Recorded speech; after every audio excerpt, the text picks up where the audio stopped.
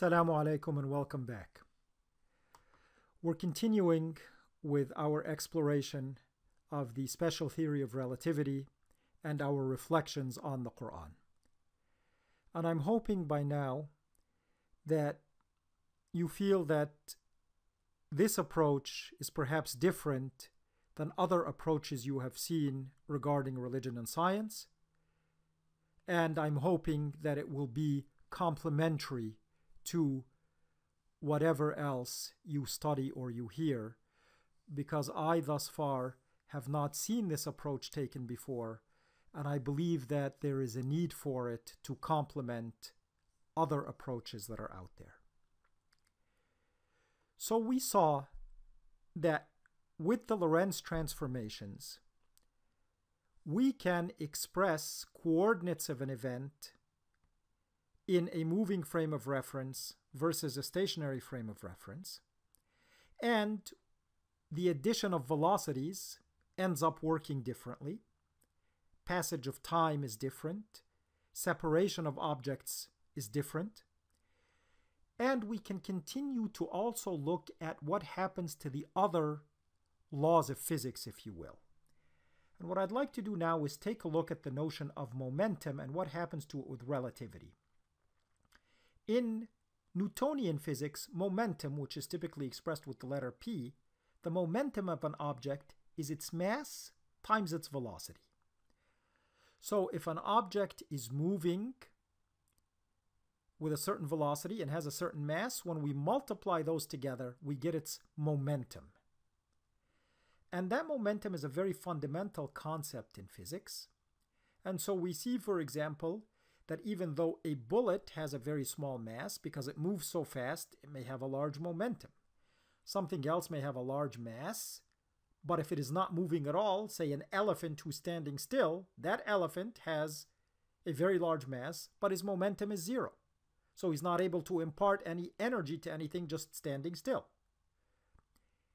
When we look at what the equations of relativity tell us about momentum, we see that it is sort of similar to the world of Newton, that it is m0, and we'll come back to what this zero means. It's mv, the mass times the velocity, but again divided by this gamma-like factor, 1 minus v squared over c squared.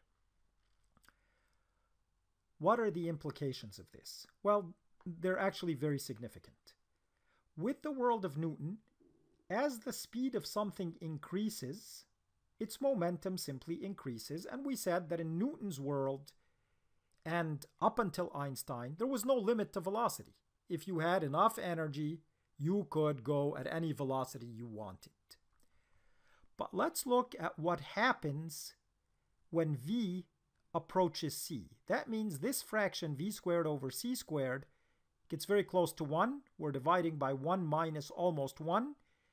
That's a very, very small number that we're dividing by, so the momentum rises drastically. In fact, if v were to equal c, it would be 1 minus 1. We would be dividing by 0, which you know gives us infinity. So momentum in relativity goes like this, and as we approach 1 times the speed of light, the momentum actually becomes infinite. That means it would take an infinite amount of energy to move something at the speed of light. Another way to think about it is that this factor here modifies the mass so that it is m over this factor times v that things actually get heavier as they move more quickly. And as bizarre as that sounds, this has been verified over and over again with subatomic particles. And that indeed it is Einstein's understanding of momentum, not Newton's, which is correct, but we just don't see it because in the world we live in, the ratio of v to c is so small that this is almost zero, and so it looks like momentum is mv. Now, what is the significance of this? Well, the significance of this is when we come to calculate energy and work. Bear with me here because I, I, I think inshallah you will find this very rewarding. In the world of Newton, P momentum is mv. Force is ma, the acceleration, mass times the acceleration. Well, acceleration is nothing but the change in velocity over time, and so force is really, if the mass stays the same, it is the change in momentum over the change in time. That is what force is. And force is what we use to do work. And work is the same as energy. So, in Newtonian physics, if we want to calculate the work done on an object, then we go from this equation where force is the change in the rate of momentum with time. We would substitute that in here for force. You don't have to worry about this, but I just wanted to show it to you. And we would integrate the force over the path along which the work is being done. And if we do this integration, and again, I won't torture you with the math, but we get then that the kinetic energy of an object falls out to be the famous equation that you may remember from high school physics, 1 half mv squared. If we were to substitute the change in momentum with time for force and do the integration, this is the result according to Newton. Well, we said according to Einstein, the laws of physics have to be exactly the same. That means work has to still be defined as force integrated over path, because that's a law of physics. And force is still defined as the rate of change of momentum, because that's a law of physics. But we said that the momentum, according to special relativity, is given by this equation not by mv. And when we substitute this expression of momentum and do the change in the rate of momentum as force, simply substitute instead of mv this expression for p into this equation, we get this expression for kinetic energy. mc squared over 1 minus v squared over c squared minus mc squared let us look at the implications of this. Because this is where the world's most famous equation comes from. E equals mc squared, and here's a photo of Einstein actually writing it on the board from historical archives. This is how Einstein derived this equation. That kinetic energy is really some energy here, mc squared, over 1 square root of 1 minus v squared over c squared minus another energy which has nothing to do with the velocity. This bit of the energy is dependent on the velocity of the object. v is the velocity of the object.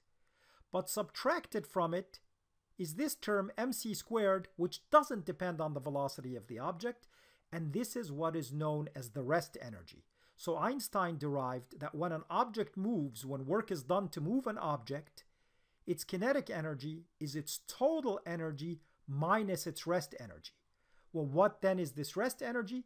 This rest energy is mc squared, and this is how we get the equation E equals mc squared.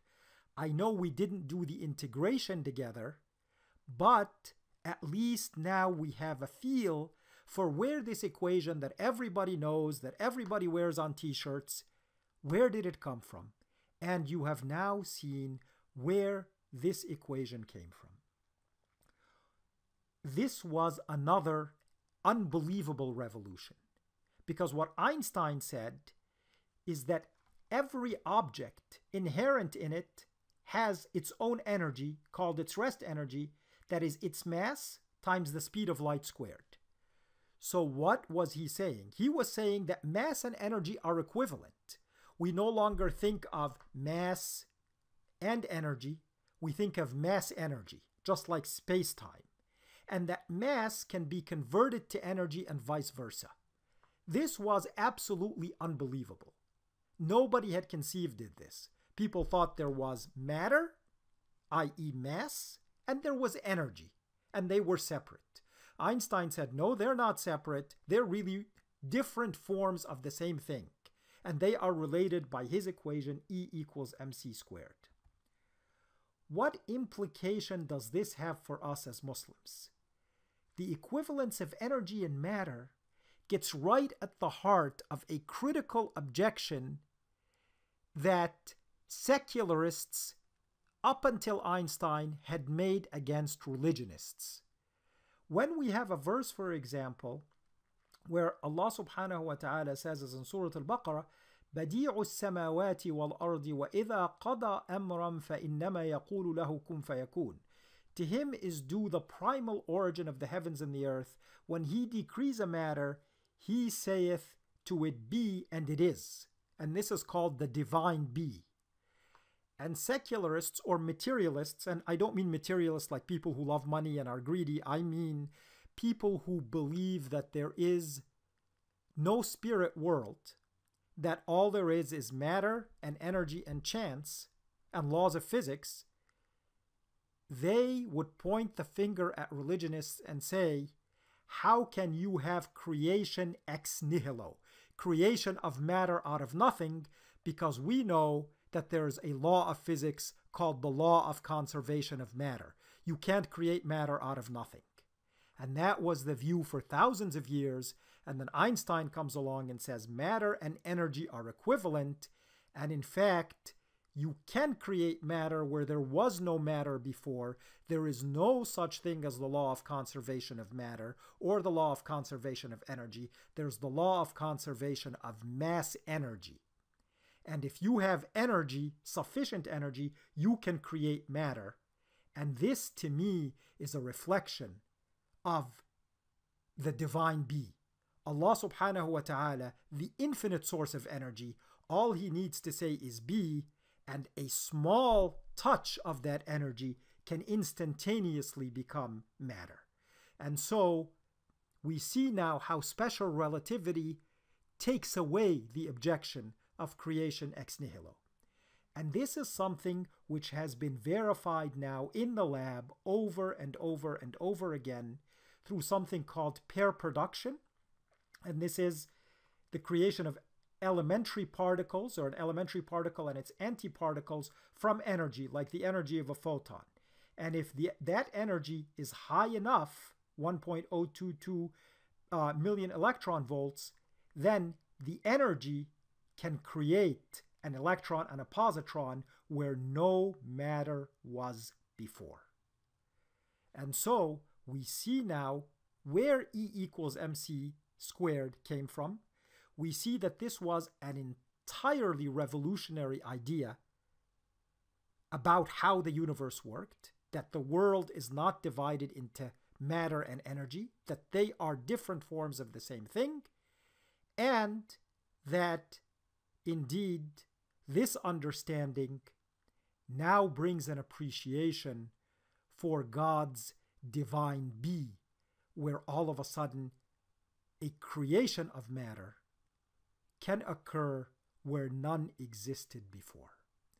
And of course, there have been much more sinister verifications of this equation because it is this equation and this understanding which led to the development of atomic weapons because the mass differences in fission of nuclei or fusion of nuclei, it is the conversion of that mass into energy which leads to the horribly destructive capacity of nuclear weapons and also holds a promise for the future in terms of clean energy production with nuclear reactors. All of it is because of the equivalence of mass and energy. And so, as world citizens, we would want to know about this even without any reflections on the Quran. But I hope, inshallah, that now we see things through a different window.